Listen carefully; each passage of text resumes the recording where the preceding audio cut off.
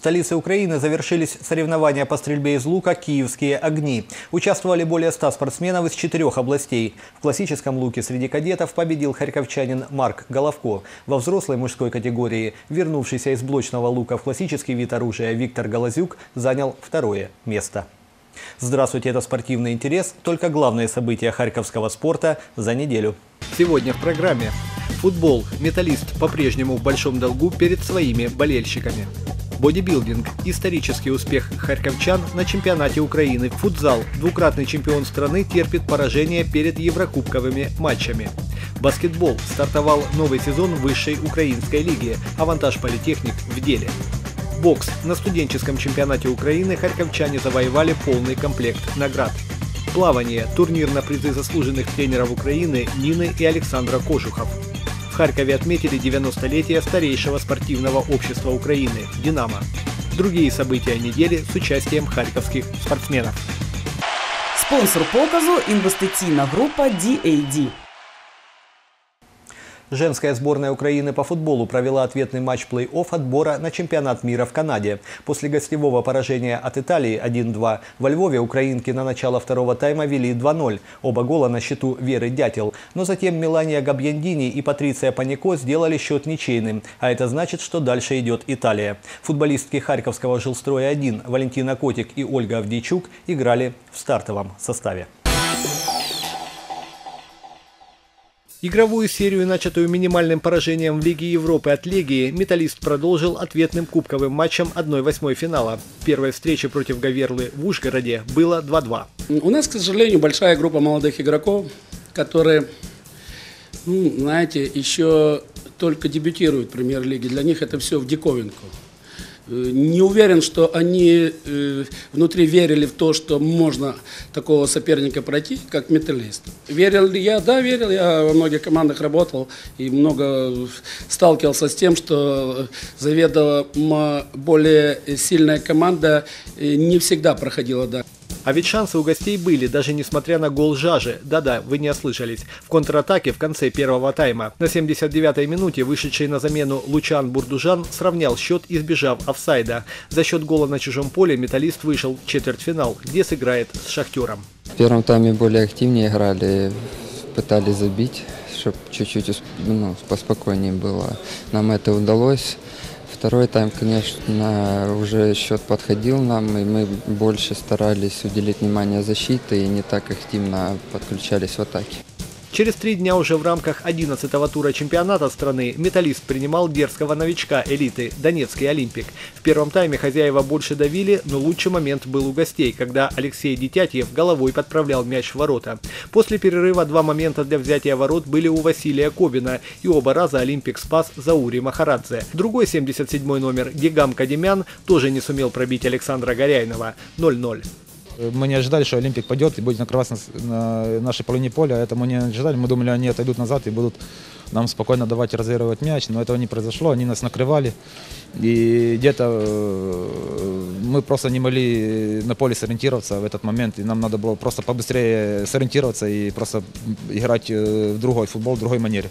В остальных матчах тура Донецкий «Металлург» впервые в истории чемпионатов выиграл у «Шахтера». «Динамо» неожиданно просто справилась с «Днепром». «Заря» дожала «Карпаты», а нулевых ничьих в туре было многовато.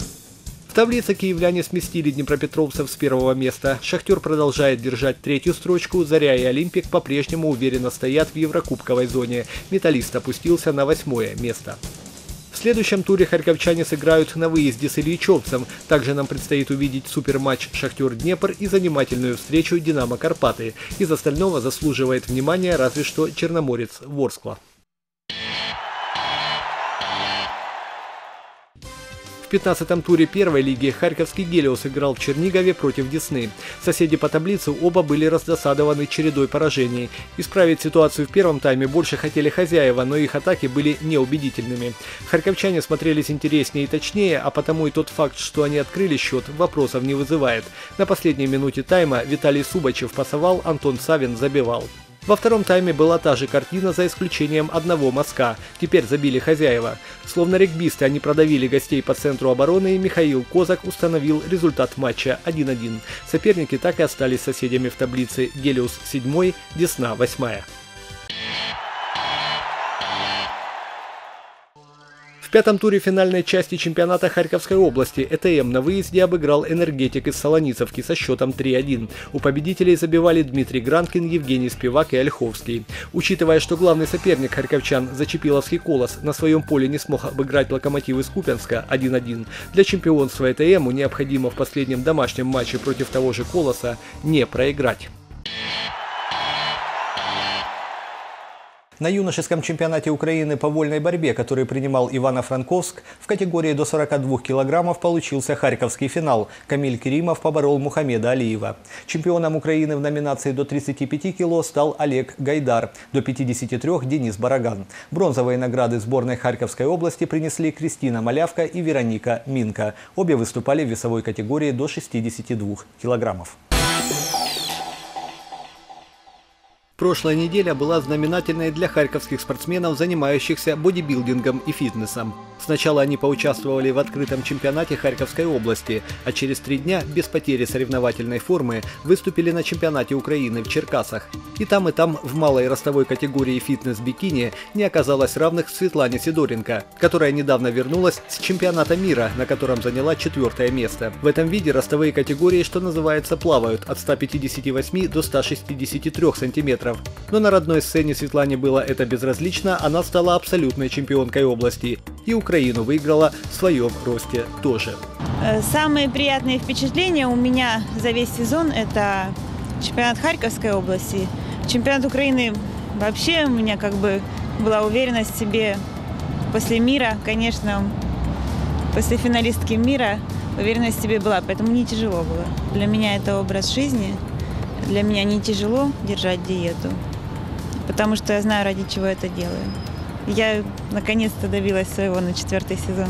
В категории Men's Physique у нас тоже золотой дубль. Роман Погорелов выиграл категорию до 178 сантиметров и в Харькове, и в Черкасах.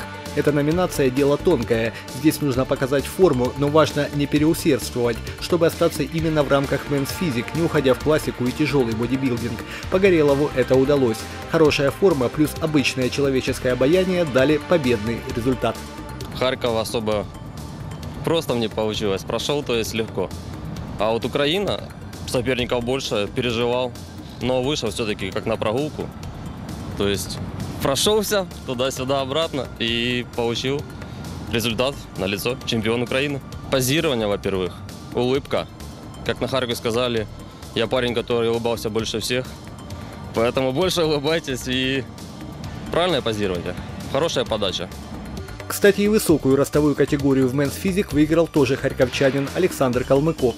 А общий результат представителей Харькова на чемпионате Украины оказался историческим. Одних золотых медалей у нашей делегации 9, чего не бывало никогда, плюс 6 новых мастеров спорта.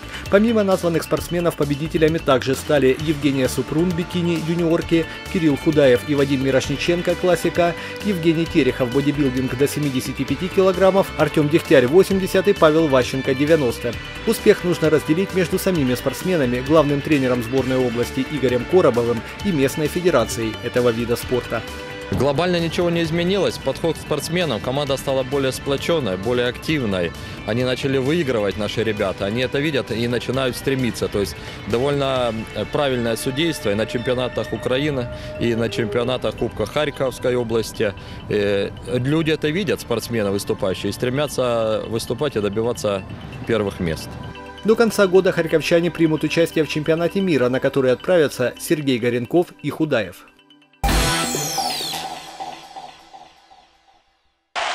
Спонсор показу інвестиційна група DAD. Во втором туре второго этапа мужской волейбольной суперлиги Харьковская юракадемия играла в Сумах против Химпрома. Соперники обменялись победами стоимостью в 3 очка. Буревестник Чернигов дважды по 3-2 обыграл Львовский Барком. Винница на выезде два раза по 3-0 разбила фаворит из Лубнов и вышла на чистое второе место. Лидер чемпионата «Локомотив Харьков» пропускал тур из-за нечетного количества команд. В шестом туре футзальной экстралиги «Локомотив» принимал Луганскую телефонную компанию. Гости отставали от хозяев на два очка в таблице, и этого достаточно для обозначения интриги. У «Локомотива» не играли Николай Белоцерковец, накануне повредившийся на тренировке, и Евгений Клочко, получивший травму в игре за «Локомотив-2». А луганчане усилились Артемом Росем, который вернулся из российского прогресса, где у него не сложились отношения с тренером в родные пенаты. С финансовыми возможностями очень плохо у всех команд. Хочется где-то играть и зарабатывать деньги, нормальные условия. Приехал доказать, и что я достоин как бы играть даже в той же России и в другой команде, неважно. Первый тайм получился осторожным, если не сказать скучным. Харьковчане поддавливали, но до решающего удара дело доходило редко. А когда доходило, как вот в этих моментах с участием Дмитрия Клочко и Виталия Киселева, гостей выручал вратарь Юрий Савенко.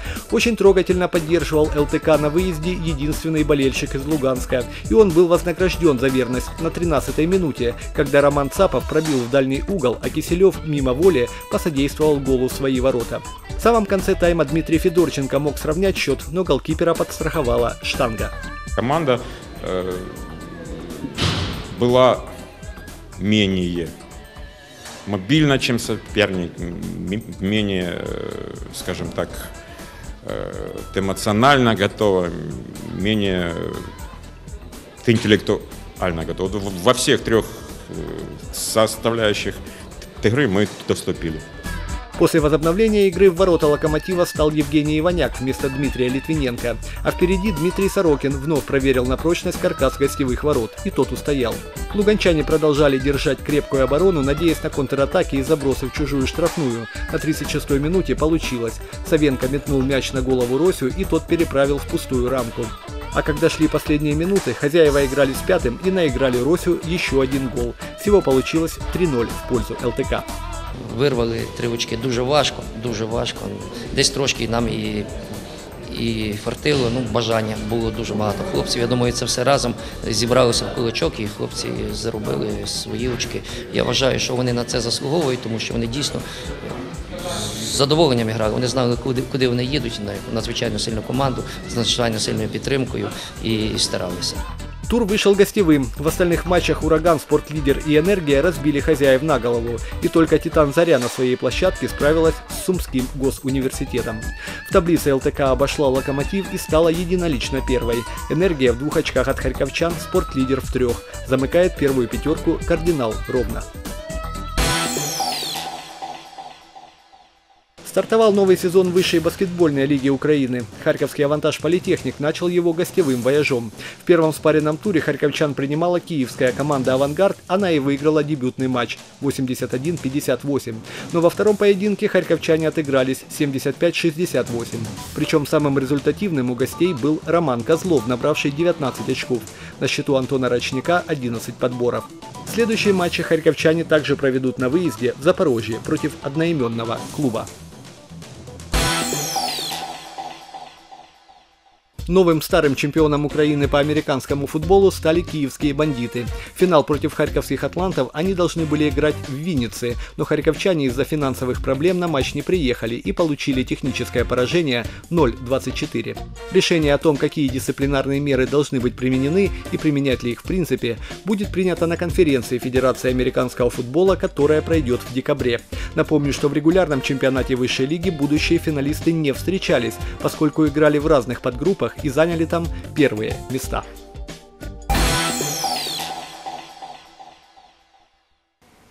На этапе бадминтонной золотой серии Кубка мира в немецком Саарбрюкене дальше всех по сетке прошел харьковчанин Артем Почтарев. В одиночном разряде он прошел немца Даниэля Бенса и шведа Микаэля Вестербека. В 1-8 финала Почтарева остановил чемпион Европы среди юниоров Эмиль Холст, Дания. В паре Почтарев и Геннадий Натаров прошли квалификацию, но в основной сетке уступили англичанам Маркусу Элису и Крису Ленгриджу. Харьковский теннисист Марат Девятьяров отыграл в турецкой Анталии десятитысячник ITF. В одиночном разряде уникортовец в матче первого круга нанес поражение французу Джонатану Карану. За выход в четвертьфинал уверенно переиграл пятую ракетку турнира Яника Джанковица, он также из Франции. А в самой одной четвертой финала воспитанник Дениса Лилека проиграл четвертому сейному итальянцу Федерику Гайо 2-6-5-7. В парном разряде вместе с киевлянином Владиславом Манафовым Девятьяров сеялся первым. Сначала они переиграли украинский дуэт Богдан Диденко-Юрий Кривой, затем взяли верх над американо-китайской парой Массимилиана Колорадо с Ю Лю, а в полуфинале только на тай-брейке проиграли будущим победителям Адриану Оберту, Паулю Ворнеру из Германии 6-4, 2-6, 8-10.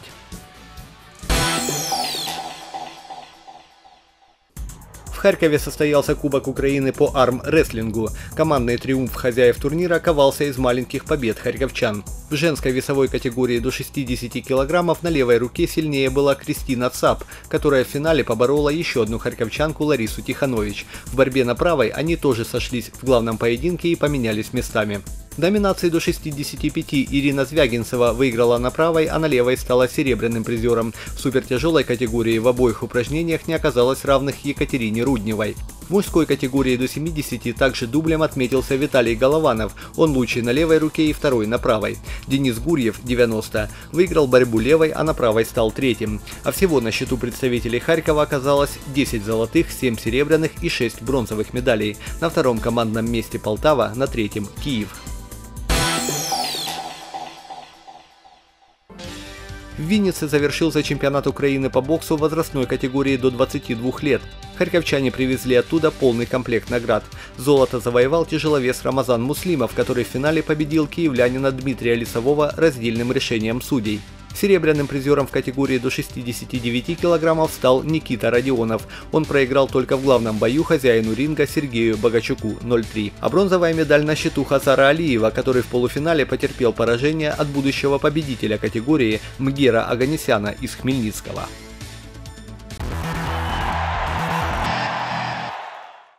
Харьковчанин Владимир Соколов завоевал золотую награду чемпионата мира среди ветеранов по фехтованию на шпагах, который прошел в венгерском Дебрецене. Таким образом, Соколов подтвердил звание сильнейшего шпажиста планеты в возрастной категории 50 лет и старше, завоеванное на прошлогоднем чемпионате мира. В нынешнем финале он выиграл у австрийского шпажиста Луки Картильера 10-5. Первыми стали украинские ветераны и в командном турнире. Первый турнир сезона по фехтованию на шпагах среди мужчин состоялся в швейцарском Берне. Лучшим из харьковчан на этом турнире стал Дмитрий Корюченко, который занял 36 место. Из украинской делегации самая высокая позиция у киевлянина Игоря Рейзлина – 30 -я. Зато в командном турнире наши выступили куда удачнее. В 1-8 финала Украина уверенно победила Израиль 45-35, а в четвертьфинале Италию 45-36. Полуфинальный поединок украинцы проиграли Франции, а в бронзовом матче всего один укол не дотянули до победы над сборной Кореи 39-40. Это четвертое место. В составе сборной Харьков помимо Корюченко представлял Максим Хворост. Городской комплексной ДЮИШ Яны Клочковой состоялся 14-й по счету открытый юношеский турнир по плаванию на призы Нины и Александра Кожухов. Именно из этого турнира в большой спорт некогда вышла сама четырехкратная олимпийская чемпионка, а также другие известные харьковские мастера водной стихии.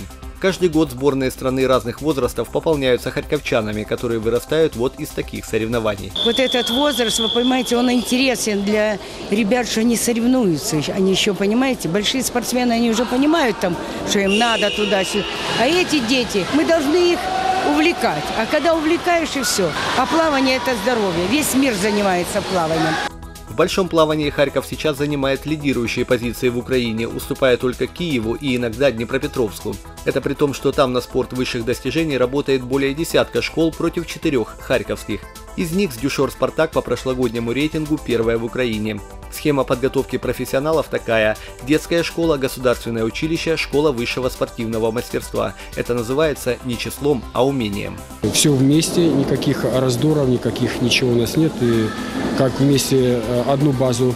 Единственное, здесь э, школа Яны Клочковой, здесь, конечно, они э, сами тренируются, а училище Дюшор Спартак и ШВСМ тренируются в бассейне Акварена. Что касается результатов турнира, то среди девушек необходимо отметить Татьяну Евлинову, школа «Спартак», которая выиграла заплывы на 100 метров вольным стилем и комплексом, а также была первой в составе эстафетных команд в этих же дисциплинах.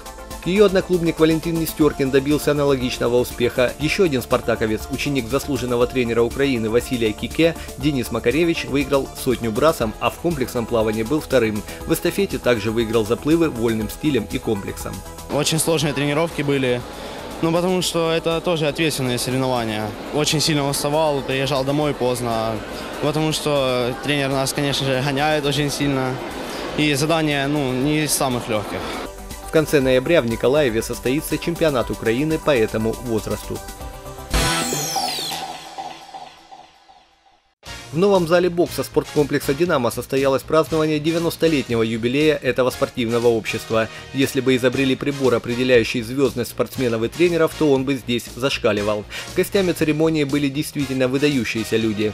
Полный кавалер ордена княгини Ольги Нина Кожух, основатель дзюдо в Харькове Анатолий Новиков, заслуженный тренер по хоккею Виктор Быков, автор и воплотитель идеи харьковского велотрека Борис Фурсенко, чемпионка мира по велоспорту Алла Багиянс и многие другие именитые в прошлом спортсмены и наставники.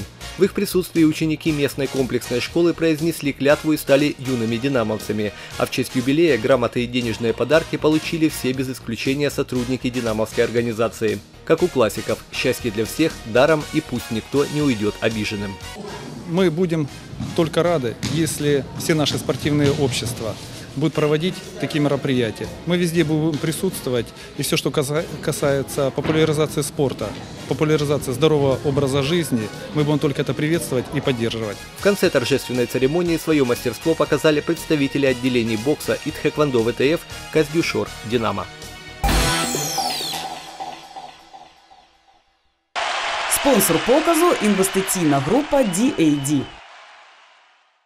В Superior гольф-клубе состоялся турнир закрытия сезона. В индивидуальном формате победил Геннадий Кравченко, в командном – квартет, за который играли Владимир и Екатерина Гриненко, а также Александр и Дмитрий Ольховские. Все они харьковчане. На этом все. Спасибо, что смотрите нас. Спортивного вам здоровья, все остальное приложится.